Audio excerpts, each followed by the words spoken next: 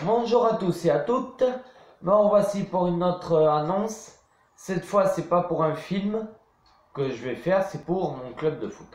Alors, ce que je voulais dire par là, je joue dans un club de foot adapté, que vous ne saviez, pas peut-être, ceux qui regardent mes vidéos sur YouTube.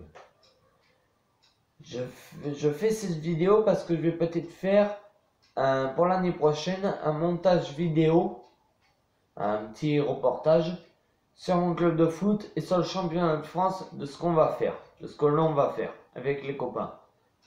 Avec, avec mon club et puis mes copains de, de foot. Voilà. Moi, ce que je voulais dire par là, c'est que si l'année prochaine je repère encore un championnat de France, ça sera inacceptable pour moi et j'arrêterai de jouer avec ce club. Comme vous avez dû bien comprendre, si je perds, ça sera inacceptable pour moi encore une fois et j'arrêterai de jouer avec eux et je jouerai à Gringalet. Bon, je vous, souhaite tous une bonne soirée et une, une bonne nuit. Salut et bon appétit à tous